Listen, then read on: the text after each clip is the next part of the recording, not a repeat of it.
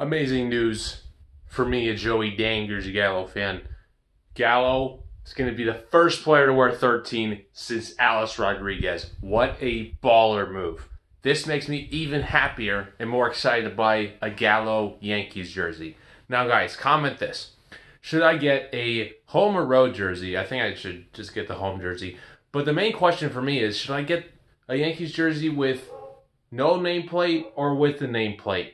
Because, you know, if I would just wear a basic 13 jersey, people are going to probably think I'm wearing an A Rod jersey. So should I get the nameplate just so people know, like, oh, he's a Joey Gallo fan?